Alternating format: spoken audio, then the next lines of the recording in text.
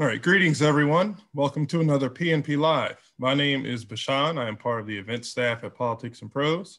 Uh, before we do get started with today's event, just want to go over a couple quick items. The first is that for anyone viewing this event, if you would like to ask a question of any of our authors, we would ask for you to place it in the Q&A box just so we can help keep track of it and facilitate the question and answer period.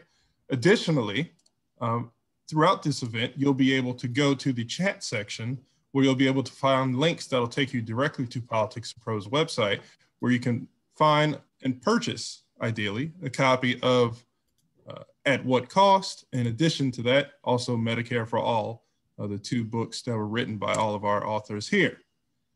At What Cost confronts how globalization, financial speculation, monopolies, and control of science and technology have enhanced the ability of corporations and their allies to overwhelm influences of government, family, community, and faith. As corporations manipulate demand through skillful marketing and veto the choices that undermine their bottom line, free consumer choice has all but disappeared, and with it, the personal protections guarding our collective health. At what cost argues that the world created by 21st century capitalism is simply not fit to solve our most serious public health problems from climate change to opioid addiction. However, author and public health expert Nicholas Freudenberg also shows that though the road is steep, human and planetary well being constitute a powerful, mobilizing idea for a new social movement, one that will restore the power of individual voice to our democracy. Dr. Nicholas Freudenberg is a distinguished professor of public health at the City University of New York Graduate School of Public Health and Health Policy, director of the CUNY Urban Food Policy Institute, and founder of Corporations and Health Watch, a website that monitors the impact of corporations on health. Dr. Freudenberg is the author or co-author of five other books and more than 100 scientific articles. He, his work has been supported by the National Institutes of Health, the US Centers for Disease Control, the Robert Wood Johnson Foundation, excuse me, and the Open Society Institute. He is joined in conversation by Abdul El Sayed and Micah Johnson. Abdul El Sayed is a physician, epidemiologist, public health expert, and progressive activist.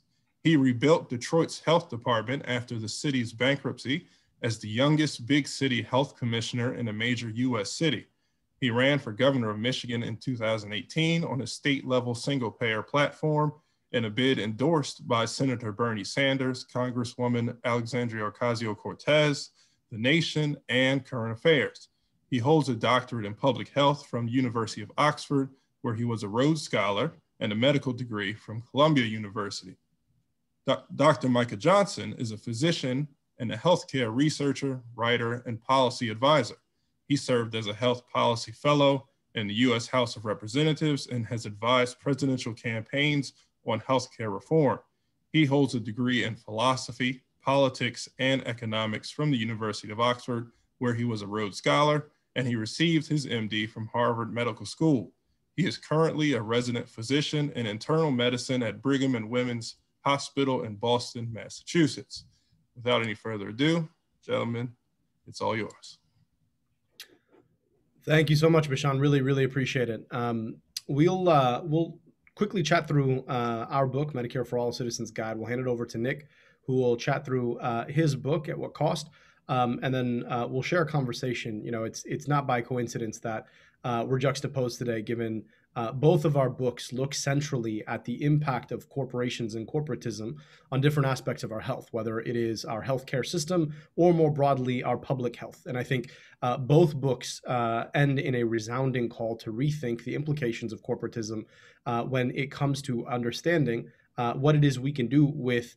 Uh, with the circumstances that we find ourselves in when it comes to, to health. our book um, was intended to take on a topic that has been uh, deeply politicized over the past five years for good reason, because it speaks to uh, the circumstances in which all of us uh, have to deal with uh, getting health care uh, in the circumstances of our illness. And uh, our healthcare system, in, in, so many ways, has failed. the test of, of, of this COVID 19 crisis, as it has failed millions of people before that. 67% of all bankruptcies are attributable, are attributable to healthcare in this country. And, um, and part of that, or most of that, is because uh, of the way that corporations have stuck their talons in uh, both the insurance uh, and the healthcare provision side uh, of healthcare. And so uh, our hope was to take this uh, topic back out of the politics and back into put it back into the personal by situating it in the circumstances that people find themselves in day in and day out in our country. And in doing so, we hope that we can uh, I- ignite and engage a conversation that people are having all the time across their dinner tables about how we can do this better. And we believe that Medicare for All is uh, the right answer to that question. So, without further ado, I, I want to jump in um, and, and, share. Actually, uh, let me pass it over to Micah to, to share some context, and then we'll jump into the book. So I come to this issue as someone who's always believed that healthcare is and ought to be treated as a human right. But then I got to medical school in Massachusetts, where most people have some form of health insurance. And nevertheless, patients are just being failed every day, whether it's medications that we know folks need and they can't afford, or they're worried about whether they can afford going into the hospital, or in an emergency, they go bankrupt because they did get the care that they needed. So, what brings me to, to the topic is the belief ultimately that we can do better.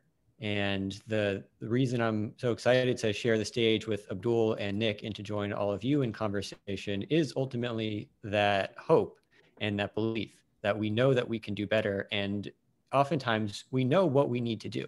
It's a question of mustering the, the courage to get there. So, Abdul, why don't you tell us a bit about how where this conversation starts with making healthcare right in America? Absolutely. So um, when you talk about Medicare for all, it's easy for uh, the opponents of uh, real reform to paint it as radical. But I, I want to situate us back in history. The first time that Congress took up its responsibility to promote the general welfare, and I quote uh, from the Constitution, uh, the preamble of the Constitution. And that takes us all the way back to 1798. As early as 1798, the fifth Congress passed and President John Adams signed an early attempt by the fledgling republic to promote the general welfare, an act for the relief of sick and disabled seamen. At that time, international trade was vital to the well being of the United States, although being a sailor was a particularly dangerous trade. To protect its merchant marine, Congress passed the law creating a system of government run hospitals for seamen funded by a mandatory tax on their earnings.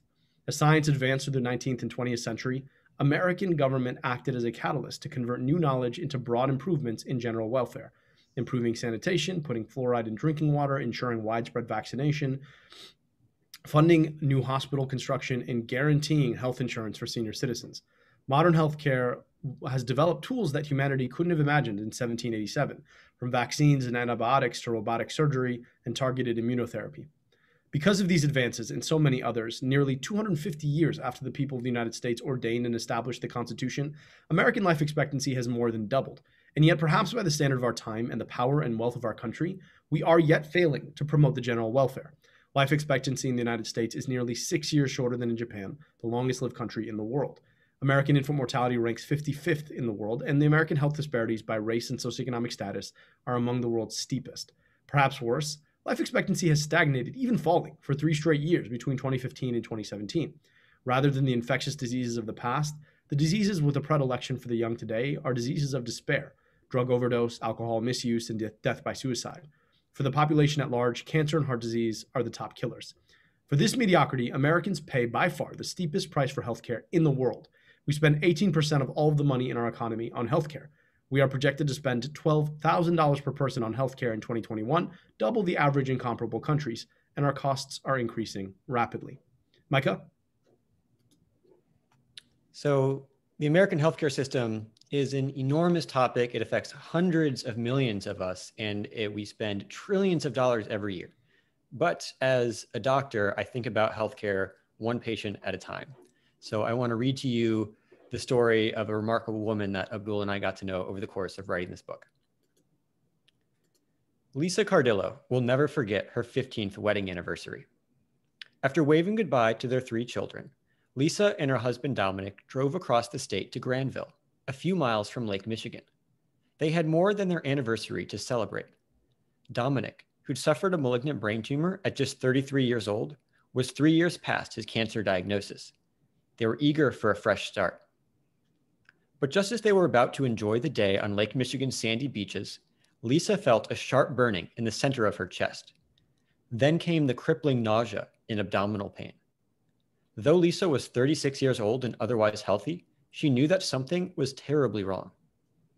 The Cardillos knew better than to call an ambulance. Dominic's had cost them $800 when he was first diagnosed. They rushed to the car and started Googling nearby hospitals. Dominic stepped on the gas. Lisa's left arm started to go numb. As Lisa walked into the emergency room, she went into cardiac arrest. With her heart no longer pumping blood, she crashed to the floor. The emergency room personnel started performing CPR then and there.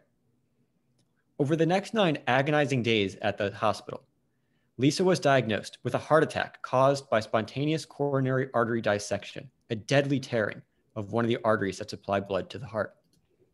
Thankfully, Lisa survived. But that was just the beginning of her ordeal. All of this was extremely expensive. The hospital sent a bill for $185,460. For five months, she had to wear a defibrillator vest, which was another $5,000 a month. Then more bills for cardiac rehab, follow up appointments, and prescriptions. And here's the thing the Cardillos have health insurance. Unlike the 30 million Americans who don't have it, they have health coverage through Dominic's job as an automotive engineer. Before his diagnosis, they tried to save on premium costs by choosing an insurance plan with a high deductible, meaning they would need to spend more before their insurance kicked in. That left them with $12,000 in uncovered medical bills. Their friends eventually started a GoFundMe page and threw an in person fundraiser to partially allay their debts. Together, they raised nearly $8,000, just enough to get them back on solid footing. But when January 1st rolled around, their deductible reset, and they found themselves back at square one paying for Dominic's ongoing treatment. And the toll was the personal toll. Lisa spent hours on the phone with the various hospitals, slabs, and where they owed money, not to mention pleading with their insurance company to cover the cost of this or that treatment. More than once, she'd found herself crying to the faceless insurance bureaucrat on the other end of the line. She told us, when your medical bills become more stressful than your husband's brain cancer diagnosis, something is not right. Morbidly, Lisa jokes that her favorite bill is the one for cardiopulmonary resuscitation, the manual CPR she got in the emergency room. For $568, the hospital personnel saved her life. But because she hadn't met her deductible, she paid for it out of pocket. It's the best $568 I ever spent, she said. But should she have had to spend it at all?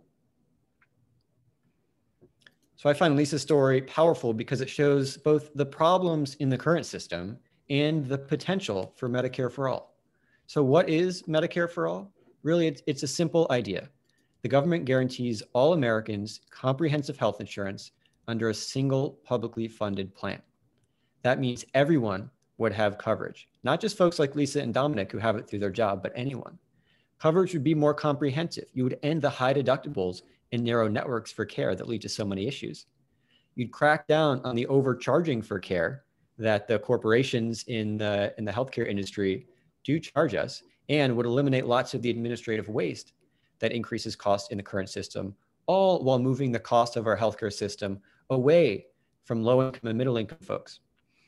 But to, to get from here to there requires a lot of politics and a lot of in terms of political movement. So Abdul, tell us about the politics. Well, look, in order to get there, we're going to have to continue to organize, to build a movement founded in people uh, sharing their own personal stories, their frustrations with the system, and deciding to do something about it. That willingness to come together, to build a movement, that's the only way forward we're always going to be undergunned when it comes to money. We're always going to be underpowered when it comes to political access. But what we can do is take back our democracy and move it in the direction of, real change. Um, I think this dovetails nicely dovetails nicely with uh, the the work that uh, Nick Freudenberg has been doing uh, his entire career, exploring the consequences of corporations uh, for our health, and, and part of that has been the impact on our politics. And so uh, I'll hand it off to him to share a bit more about his excellent book, At What Cost. Nick, take it away. Thank you so much. And thanks, Abdul and Micah. And uh, really a pleasure to be here with you. Uh, a really important book that you wrote. So, uh, At What Cost is really a guide for apocalypse watchers. And it turned out the last few years uh, were really banner years for those who like to watch apocalypses. Most visibly and obviously, we had the COVID 19 pandemic with all the illnesses and deaths here in the United States and around the world. But we also watched the unfolding climate emergency. Uh, 30 tropical storms in 2020 alone, more than $30 billion worth of damage, uh, many lives lost. Uh, and the climate emergency also uh, disrupts agriculture, contributes to uh, a variety of forms of pollution. Then we've also had some more uh, slow motion disasters, uh, some of which Abdul and Micah have talked about, the deaths of despair, closely related to the use of opioids, alcohol, firearms, and also the changes in working conditions. Uh, we've also seen the rise of chronic diseases, diabetes, cancer, heart disease, cardiovascular disease. And the question I ask in At What Cost is what are the common drivers of these apocalypses of the 21st century? And the case I make is underlying these very different health conditions are the changes in capitalism of uh, in the long view from the 1970s on, in the shorter view since the 2007 fiscal crisis. And we've seen changes in, uh, in, the, uh, in modern capitalism as a result of globalization, where uh, unhealthy products, uh, pollution, uh, and, and desperate migrants uh, travel around the world. We've seen uh, financialization, a growing part of the world economy controlled by the financial sector.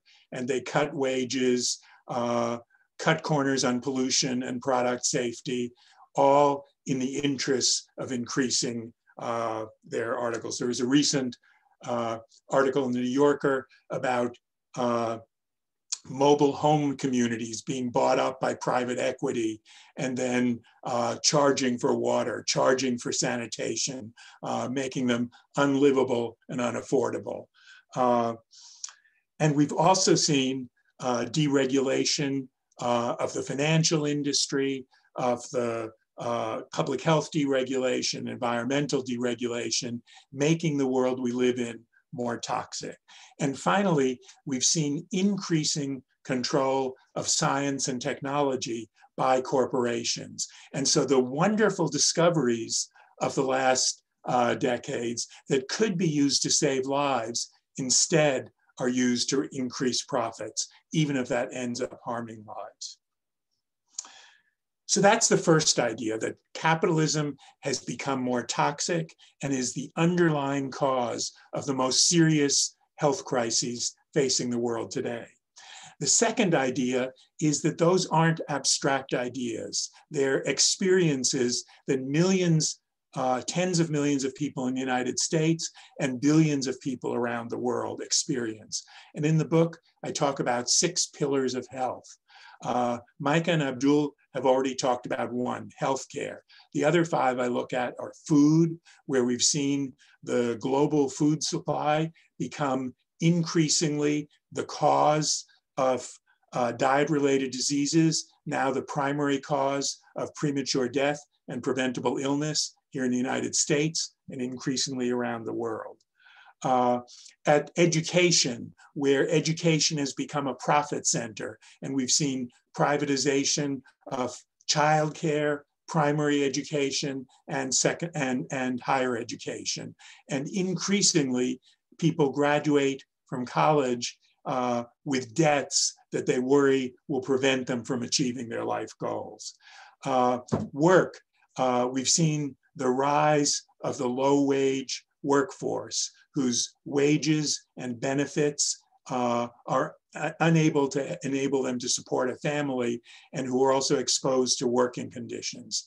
In transportation, we see the creation of transportation apartheid, some sectors of the population having access to mobility and others not. And the dominant form of transportation, cars, uh, SUVs, pickup trucks that pollute the environment and discourage the development of mass transit, which promotes health in all sorts of ways. And finally, uh, the uh, big tech has forced us to uh, turn over to Amazon and Google and Facebook our most private actions uh, in order that they can sell that data about us to advertisers who can in turn try and convince us to consume more unhealthy products, to uh, exacerbate social and political divisions because controversial ideas, hateful ideas get more clicks and more likes than uh, ordinary ideas or life-saving ideas. So these six pillars of health are increasingly undermined by 21st century capitalism, making it harder and harder for people to get what they need to stay healthy. But here's the good news. Around the world and here in the United States, uh, every health problem we face, every social problem we face, somewhere people are mobilizing to change that. In the food movement, the climate movement, the labor movement, the Black Lives Matter movement, the Dreamers movement, people are mobilizing to take back their right to control their lives, to say that we need a politics where it's not corporations that dominate and that decide what government does, but ordinary people. But the problem is that each of those movements is uh, siloed. And with it, we've had a great difficulty putting together a common agenda. And one of the uh, suggestions I make and at what cost that I think resonates with what Abdul and Micah are saying is that health and well-being constitute a foundation for the many movements active in the United States today. And if we can start to find the ways that the environmental movement and the food justice movement and the labor movement, to take three that I've done some work with, can find common ground as exemplified by the Green New Deal and begin to make common demands that then we will have uh, begin to accumulate the power that will contest uh, the current uh, uh, status quo and the current holders of power. And in order to bring those movements together, we need to start to define a common agenda, one that uh, creates incentives for people to work together. And I suggest a few ideas that can begin to bring that together. And this isn't rocket science. These are common ideas, but what we need is the ability to uh, resolve the conflicts that have divided different movements in the past and bring them together. So one idea is to grow the public sector. In many sectors, in food, for example, a big part of the food sector is already public. Uh, SNAP pays billions of, billions of dollars a year to provide food to low income populations. Institutional food programs spend taxpayer dollars to provide food to school children uh, health departments regulate food safety. But the problem is that that money that we spend in the public sector isn't always used to advance public good. And we need to be thinking of how we, as uh, citizens, as taxpayers, can ensure the public sector in food starts to create an alternative to the private sector, which is now selling, unfortunately, mostly unhealthy food that contributes to diet-related diseases. And similarly, in the pharmaceutical industry, in the healthcare industry, in education, in transportation, the public sector can begin to create an alternative competition for the private sector and show that it's possible to meet human needs and not have making a profit be the only concern. Second, we need to level the playing field. We need to look for ways to bring the voices of ordinary people, of workers, of women, of Blacks and Latino and American Indians into the political arena and to reduce the influence uh, aggravated by the Citizens United decisions, uh, aggravated by the billions of dollars of lobbying money and dark money that corporations and wealthy individuals spend to get their way. And I think the power of a movement organized around health is that it can begin to uh, absorb and turn into practice the lessons that some of us learned from the women's movement many decades ago. And that is that the personal is political and the political is personal. And when we can translate the uh, challenges that people encounter in pursuing their diet, their transportation, their children's education, their health care, into the struggles against the corporations that are profiting at the expense of our well-being, then we have the foundation for a movement that can really make a difference. And we can look also to our past to see successes. Every generation has struggled to improve living conditions. And I'm unwilling to buy the argument that there is no alternative to the toxic capitalism that has developed in this uh, in these recent decades. And I look forward to working with others uh, to create a world where we can be sure our children and our grandchildren will inherit a world in which uh, they can prosper, be healthy, and the planet can survive. I really look forward to uh, questions from all of you and your responses to these two books about how we address the health challenges facing us.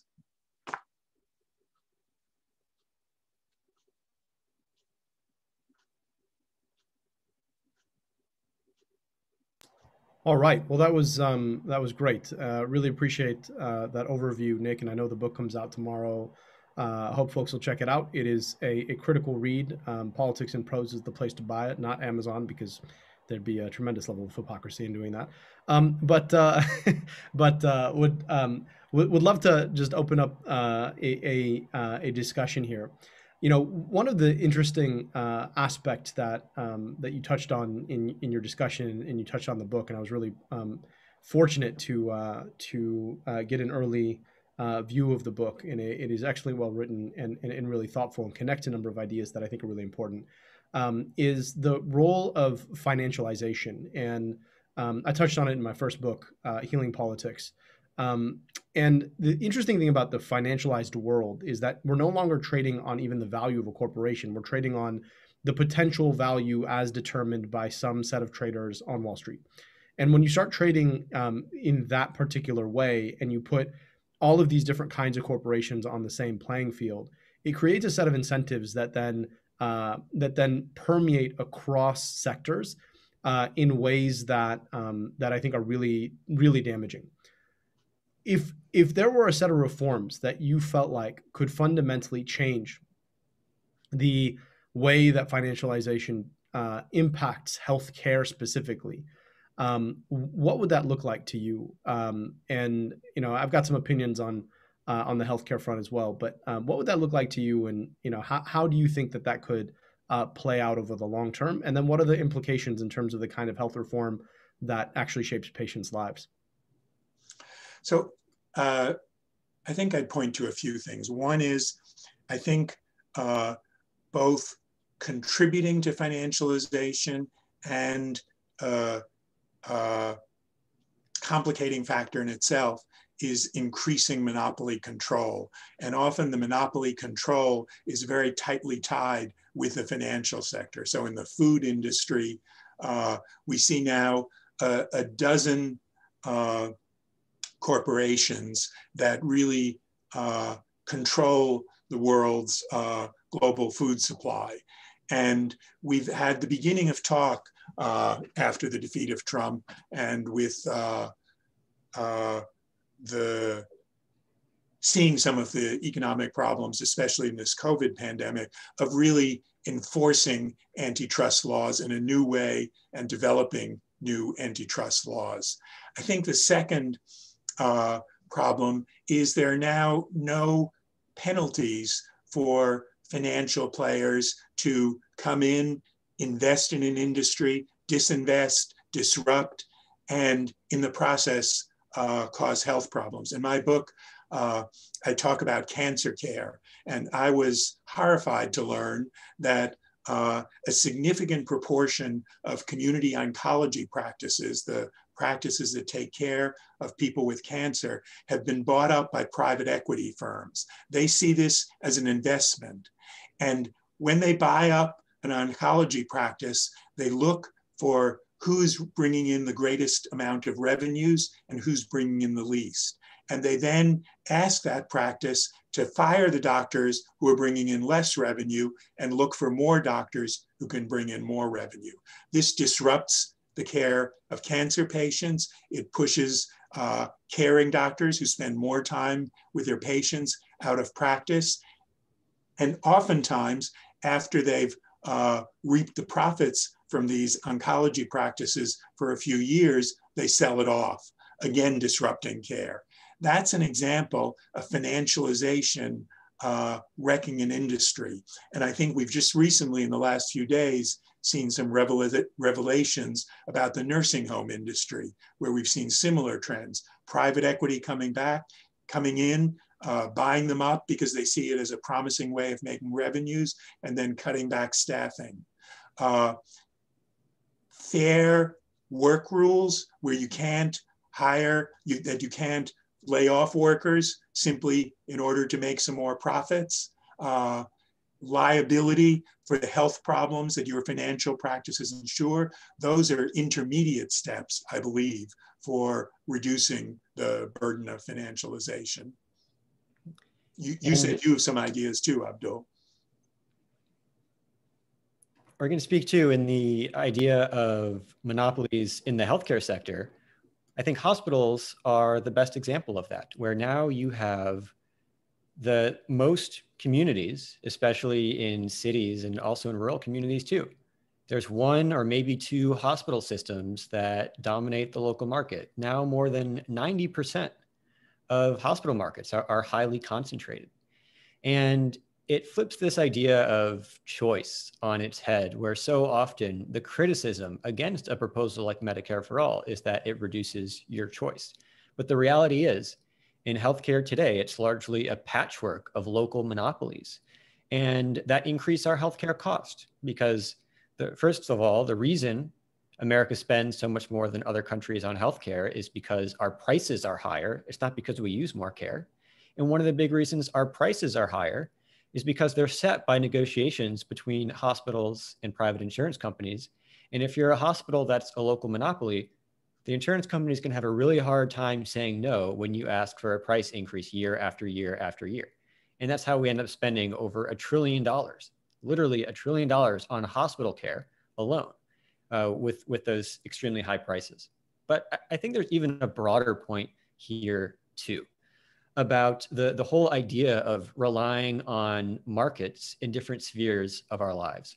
And going back to Adam Smith, the, the whole idea of being in the market, you know, the, the famous quote about the baker. The baker doesn't bake bread out of the goodness of his heart, but by trying to increase his own profits, he bakes a lot of bread that helps everyone else. The idea that if individuals and companies pursue their own profits, along the way, they're going to help other folks. And that may well be the case in, in many instances in terms of consumer products.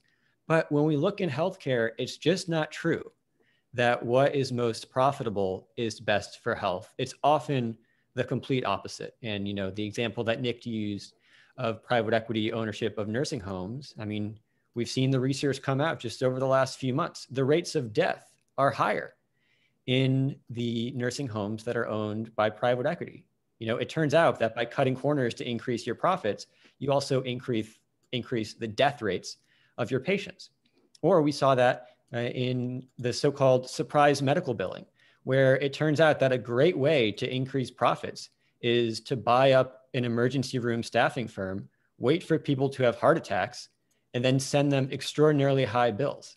So just the, the very idea that by letting people pursue profits, you're going to improve people's health when it comes to healthcare, it's it's just not true. And I think that speaks to Nick's broader point about increasing the role of the public sector in healthcare. And you know, it, it dovetails very nicely because what Medicare for All is is an invitation to rethink the way that we think about healthcare, to have it not be based on this consumer product model, but to have it be based on a public good model.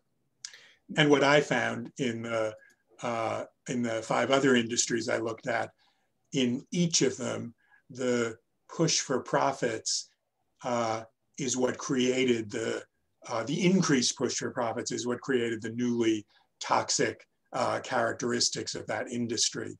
And I think the question is, who writes the rules? You know, even Adam Smith understood that there needed to be rules about what for-profit companies could do. In the case of the food industry, as I said, increasingly uh, now something like 57% of the calories that Americans consume are what are called ultra processed foods, foods high in fat, sugar, salt, with dozens of additives, flavorings, uh, stabilizers, etc. Uh, a, a, growing body of scientific evidence shows that those are the products most associated with increasing rates of diabetes and hypertension. And why does the food industry like ultra processed food? Because it's very profitable. You can ship it around the world. You can leave it on a shelf for a long time. You can uh, use the industrial crops like corn and soy and sugar to produce it. And uh, healthier food would need to be uh, grown and distributed on a different scale. And that provides less opportunities for monopolized industries to make profits. So I think we, we need to examine both who's going to set the rules about profit and public good, and then what's the scale of uh, providing healthcare, providing food, providing education that offers people uh, uh, healthful opportunities. The, only place that I was going to add here, and I, I think that's um, that's a that's an exceptional way to summarize it, is that in you know in healthcare we almost have monopolization two two sets of monopolies in one industry that are constantly toggling off of each other in a uh, almost a death spiral to raise prices. So you have monopolization on the provider side, which Micah spoke to, and then you have monopolization on the insurance side. And in some respects, what Medicare for All tries to do is undercut the monopolization, right, on, on this side with what is in effect a monopsony, right, the, the sort of contrapositive uh, of a monopoly um, on behalf of patients through one insurer. And um, and in some respects, right, the, the, the economics work out the same way. The question becomes uh, what the political economy of it looks like and, and who it's operating for the insurance industry as it stands, right? The the the the entire profit model is to figure out how to get enough people to pay for uh, healthcare insurance, and then to figure out how to keep enough of that money as profit. That that's the way the system works. People pay for their healthcare, and you keep some of it as profit. And you pay as little out as possible. In fact, uh, you know they, they they they call it a medical loss ratio. Um, and uh, and in some respects, what what Medicare for All says is instead of operating that kind of system to keep as much as possible, we are going to work the exact opposite by creating one insurer that operates on behalf of the taxpayer, on behalf of the American public, uh, so that we can reduce prices as much as possible uh, and collectivize as much as possible. And it's that kind of broad based thinking that I think we need to engage with. And I'll tell you what I uh, find um, both heartening and also frustrating about where we are right now politically. We just passed a $1.9 trillion uh, COVID relief package. And inside that package uh, is, I think, one of the most promising laws now uh, in the past several decades, which is the childhood tax credit, which, if it becomes um, if it becomes permanent, uh, you are now talking about what is a direct response to uh, the 40 year governing Reaganist consensus uh, that says that we should be investing in people because they're people. And that is a big deal. And in the same, very same bill, right, in the very same law, uh, you have a m- magnificently large giveaway uh, to health insurance companies to do the thing they should have done in the first place, which in the presence of the biggest profits they've ever made in 2020, uh, to pay them to give people health care who were kicked off of their health care because of the system as it stands.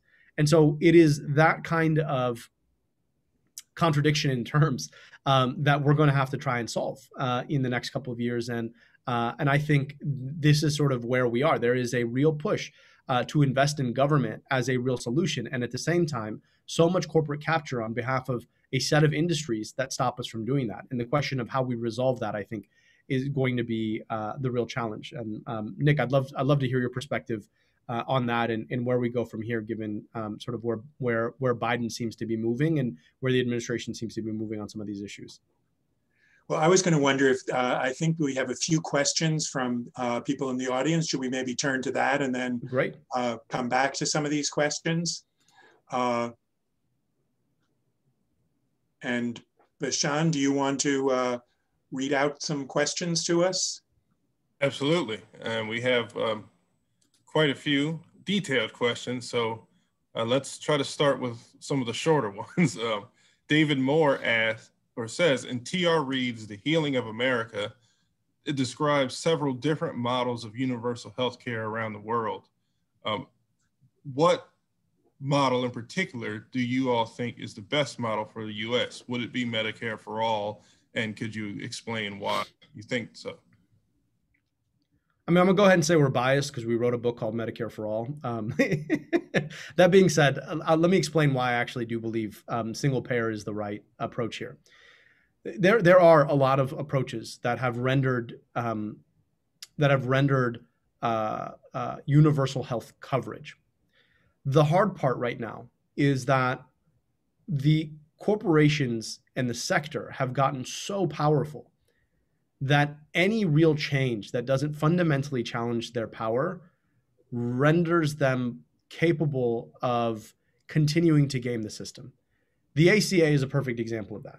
You know, one of the things that uh, that has happened because of the ACA, which by the way I thought was is a really meaningful reform. So I don't mean to poo-poo the ACA, but one of the things that happened is that it limited the amount of money that a health insurer could make on any given transaction. And it inadvertently created a disincentive, which leaves insurers wanting to raise the overall price of healthcare because they're only allowed to take a certain proportion. So if you only get a certain proportion of the pie and you want to maximize the amount of pie, just make a bigger pie. And, and that's exactly what's happened, right? And so it's accelerated the cost.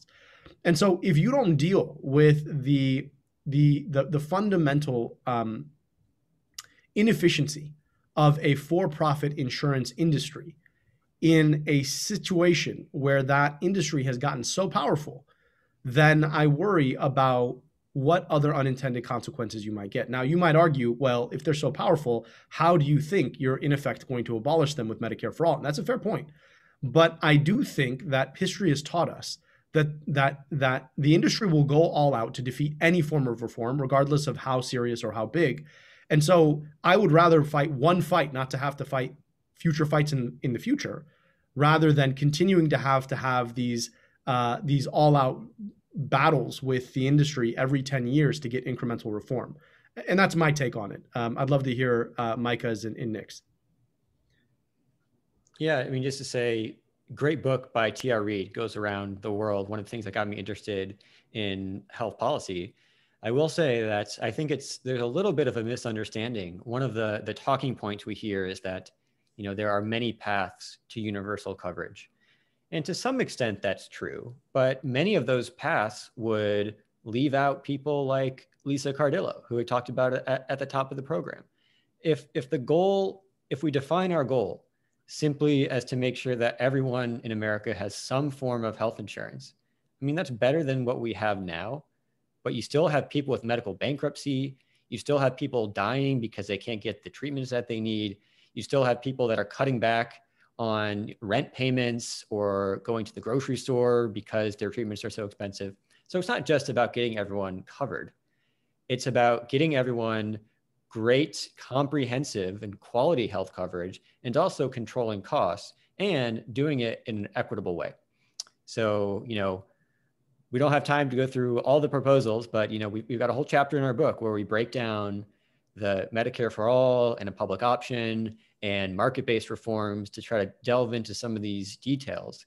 But if you want a system that's universal, comprehensive, contains cost, and is equitable, I don't think you can get any better than Medicare for all. And I would raise a slightly uh, different point in thinking about this question. Uh, I'm, a, I'm a supporter of Medicare for all, of a universal uh, system. But I think we need to spend as much time thinking as how we get there as where we're going. Uh, and that the failure of a more universal healthcare system, in my view, has come about not because we haven't gotten it exactly right, but because the forces in favor have not been able to gather the political power to uh, overcome the special interests that are wedded to the status quo because they profit from it.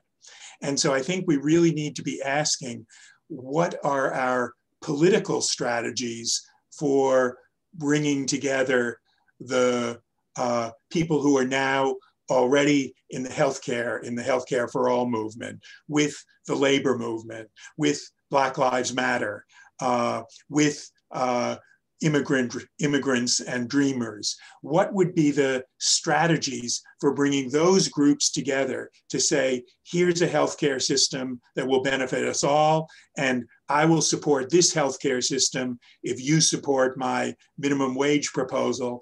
If we look at uh, the New Deal, for example, it was when there were multiple social movements with a shared set of demands that they could bring into the political arena and that they could make uh, elected officials fear that the consequences for not giving in were greater than the consequences for uh, acceding to people's demands for a better life, better health care, you know, better working conditions. So I think we need to spend a lot of time thinking about how do we get from where we are? And I don't think that's going to be a quick and easy, and it's not having it's not only having the right legislative package, although that's important too.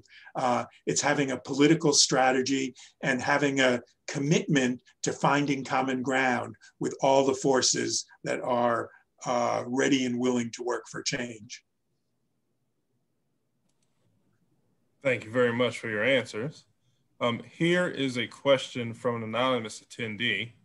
And the question is, um, would Medicare for All at least somewhat address the problem of negligence in administration of medical care by hospitals or individual practices?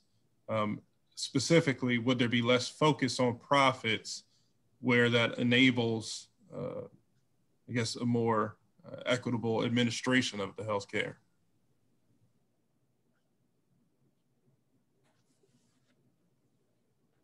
Yeah. So as I understand this question, you know, it's coming back to what does it mean to try to sell healthcare for profit and as a consumer product?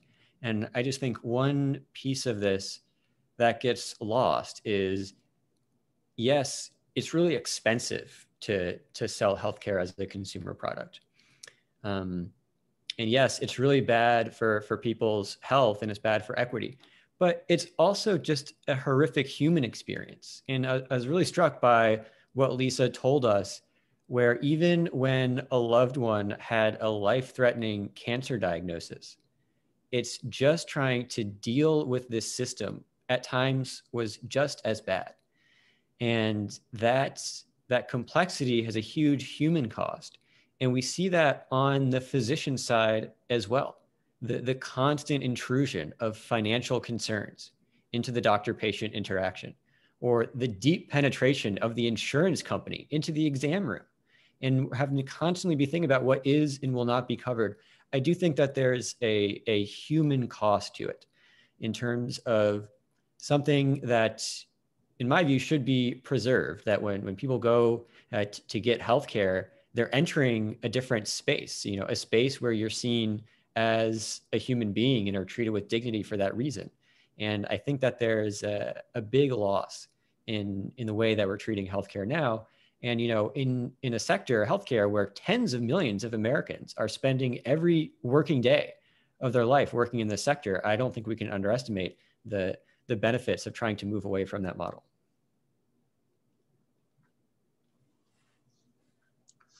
And to uh, just uh, connect it to another sector, I think what we're seeing in education is the increasing movement of uh, capital and finance into the educational system, into all different levels, where we see uh, the same risks of uh, an apartheid system where uh, the quality of education, like healthcare, will depend on people's ability to pay, uh, where we'll see uh, the racial stratification uh, even further intensified that we also see in our healthcare system. And, and so not having a social understanding of where private capital will make things worse and not better you know, not having a way for ordinary citizens rather than only investors to decide what can be private and what needs to be public. That uh, really puts puts our democracy in peril, I think, and certainly our quality of life.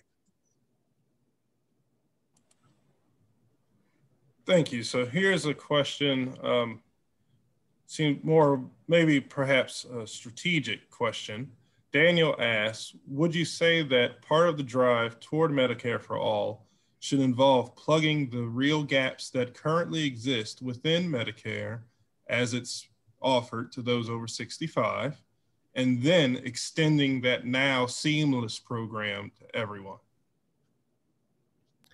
So the the better way to sort of think about Medicare for all isn't just Medicare for all. It's it's it probably be more better described as improved and extended Medicare for all. And um, there are many gaps in Medicare, and in some respects, they're part of the same uh, corporate effort to undercut the public uh, provision of public goods that uh, that Nick so well writes about. And uh, if we're serious about about I- investing in um, Medicare for all, it has to be a better version than the one we have. It would cover uh, dental and and vision and uh, and and and hearing. It would um, uh, it would address the absurd sort of weird system that we we use to pay for prescription drugs, and it would empower Medicare to uh, negotiate uh, prescription drugs with uh, pharmaceutical manufacturers.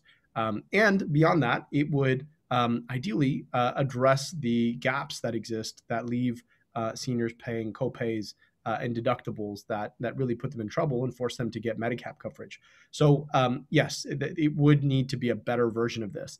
In a lot of ways, the name Medicare for All is is a messaging tool um, that is not fundamental to the good that is that is being uh, described when we talk about it.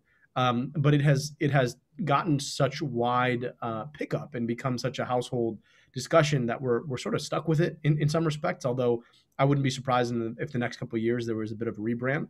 Um, and so when we talk about Medicare for all, what we mean is single payer uh, health coverage, and single payer means a single insurer that is the government of the United States um, that would be offering a far more comprehensive set of services than the one that Medicare currently covers uh, in a truly public way. So uh, ideally, without the same kinds of games that you know Medicare Advantage, quote unquote, uh, offers.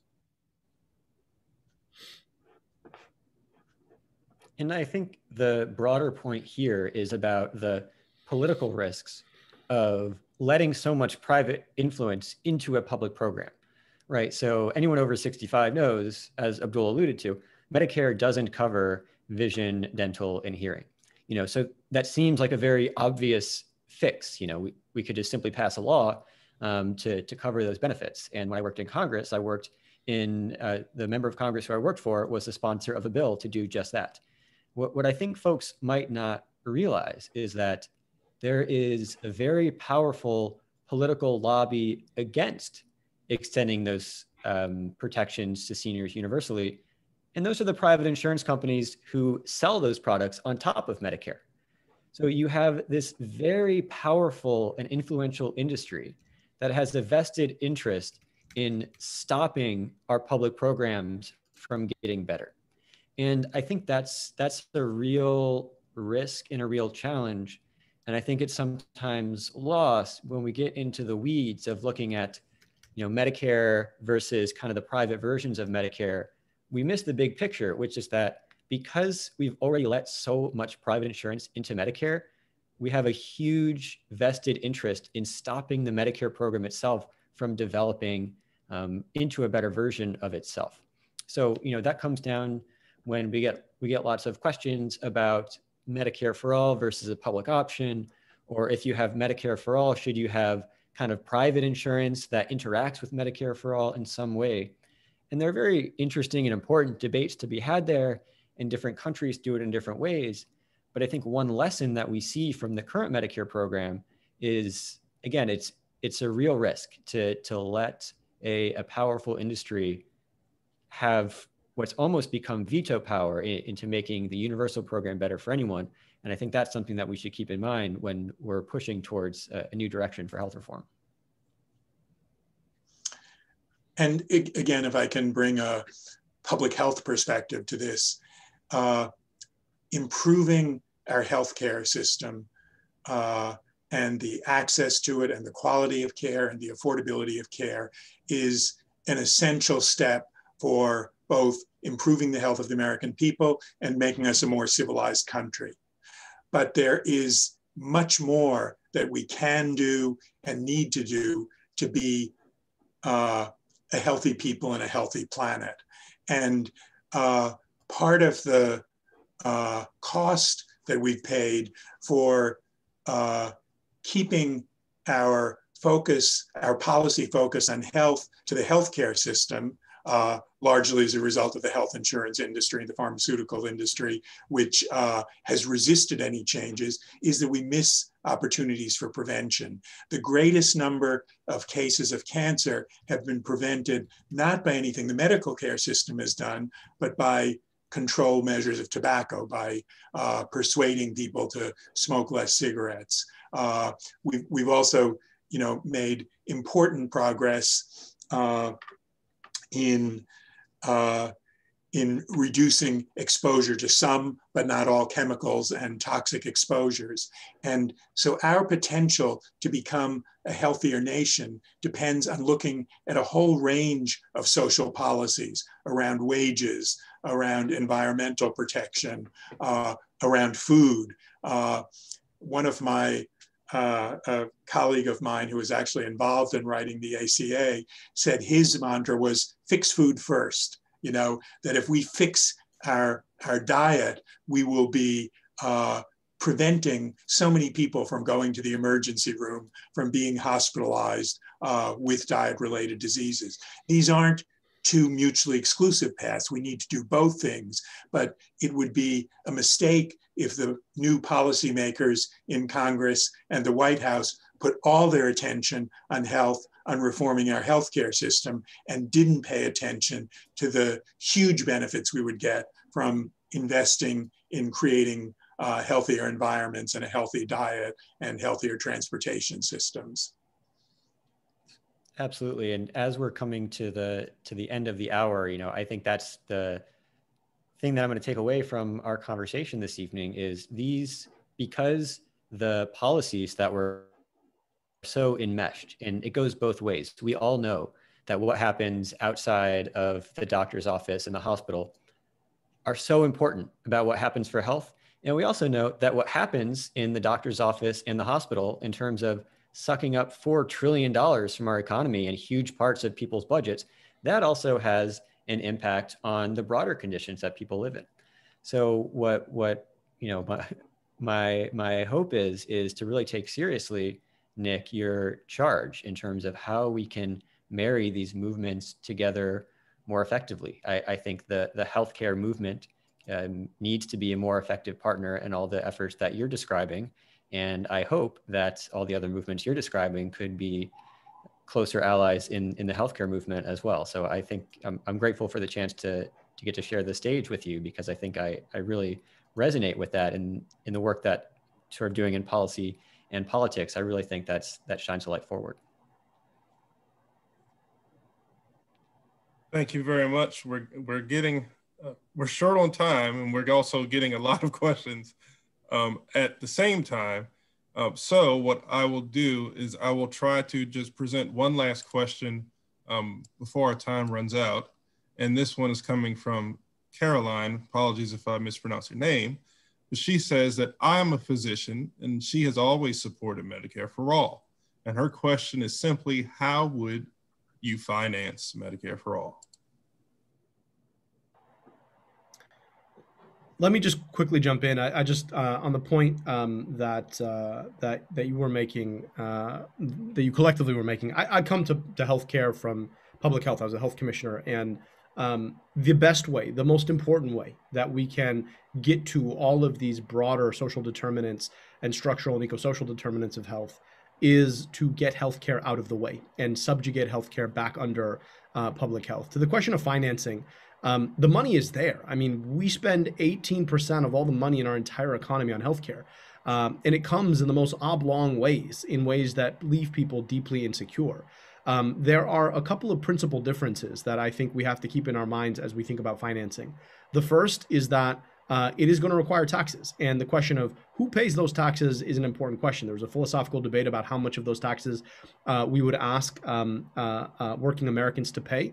And I fall on the argument that I think it's important that, from the political economy perspective, that everybody pays a bit in. Because when you look at uh, conservative um, arguments for uh, Social Security and Medicare, it almost always has to do with the fact that I paid into the system, ergo I uh, I take from the system, and I think that uh, is a justification that's worth investing in here. The the second aspect is that it needs to be far more progressive than our current system is right now. We know that poor people in America pay far more uh, for their health care as a function of what they earn, and under Medicare for all, uh, it would leave um, uh, corporations and the rich paying substantially more, and it's partly why uh, they oppose it. At the same time, the savings that come out of uh, addressing the bloated overhead, the accelerating uh, prices um, of, of, of, our current system save money. The CBO just recently scored uh, Representative Jayapal's Medicare for All bill and found that it would save uh, our system money and it would be covering the 10% of people who don't uh, actually have access to healthcare. And so the the day to day operations is that it would appear like a biweekly or monthly tax um, and it would be far lower than what uh, most Americans pay right now. And I think it would be for a better, more secure service without uh, the out-of-pocket costs that put so many people in dire circumstances. Uh, and and that um, itself is, is such an important benefit. And as you said, it can only be seen in the context of 40 years of tax policy of uh, uh, robbing for you know cutting taxes for the rich and uh, keeping them stable or increasing for the poor.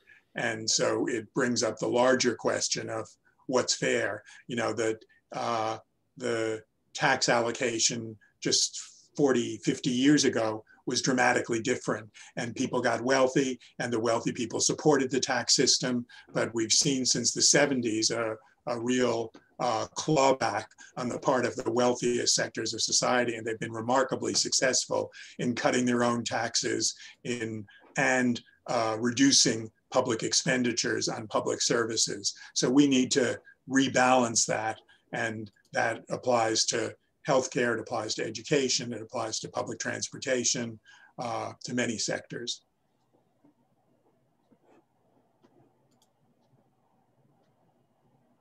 Well, I'd like to thank each of you for this very insightful and information filled conversation.